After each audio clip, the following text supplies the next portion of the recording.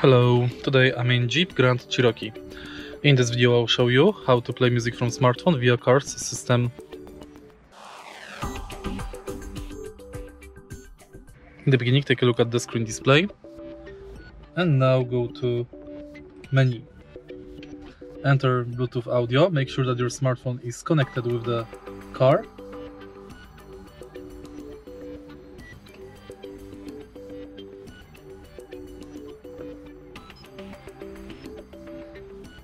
select your smartphone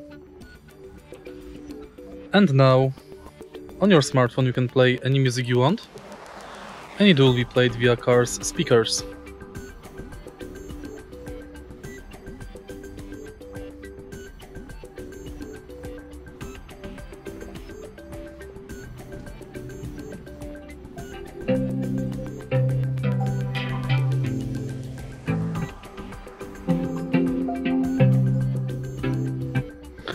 If you find this video helpful, please leave like, comment and subscribe.